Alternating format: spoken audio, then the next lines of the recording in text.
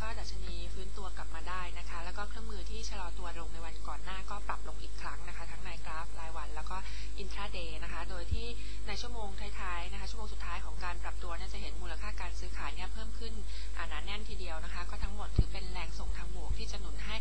เดินหน้าขึ้นทดสอบแนวต้านต่อไปนะคะ เราก็มองไว้ที่ 1214 แล้วก็ 1220 จุดตามลำ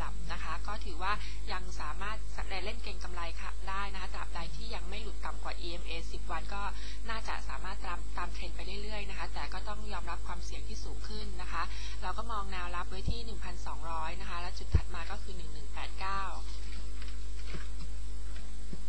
สต็อกวิวตัวแรกเป็นตัว PTTGC นะคะ จะเห็นว่า MACD เนี่ยปรับขึ้นมา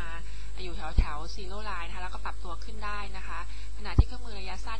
เนี่ยให้สัญญาณซื้อขึ้นมาแล้วนะคะ ก็คิดว่าน่าจะสามารถฟื้นตัวขึ้นไป แล้วก็ทดสอบจุดสูงสุดเดิมได้นะคะ ก็แถวแถวประมาณ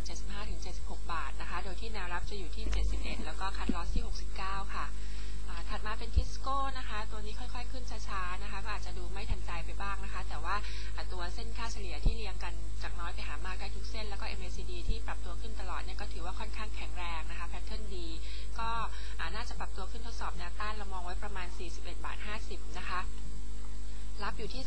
38.75 แล้วก็คัดลอสที่ 36.50 ค่ะ ถัดมาจะเป็นตัว VNT นะคะ จะเห็นว่า MACD เนี่ยกลับมายืนเหนือ Signal Line ได้แล้วนะคะ แล้วก็น่าจะขึ้นมาปรับขึ้นมาอยู่เหนือ Zero Line ได้เร็วๆนี้นะคะ ตอนนี้ก็อยู่ใกล้มากแล้วนะคะ ขณะที่เครื่องมือระยะสั้นเนี่ย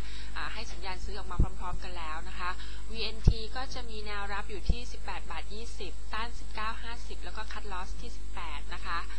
ตัวสุดท้ายจะเป็นการบินไทยนะคะ ถ้าหากว่ามองย้อนไปประมาณสักเดือนที่ผ่านมาจะเห็นว่าแกว่งตัวในกรอบไซด์เวย์กว้างๆนะคะประมาณ